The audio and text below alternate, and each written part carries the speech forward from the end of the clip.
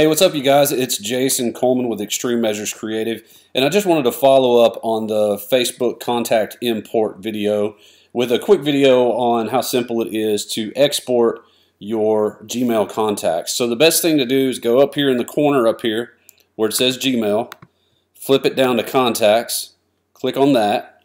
It'll load your contacts up, but what you do is you click more and then export. And when you export that, you get the option of exporting all your contacts right here. Export all contacts, and it's going to be a Google CSV, okay? Hit export. It'll give you an option to save that somewhere on your computer. We'll just say put it on my desktop, Google Contacts,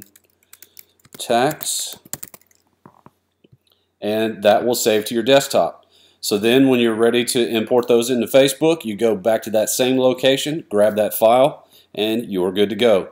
I hope this tip helps and you're able to increase your Facebook likes by importing your Google contacts. We'll see you in the next video.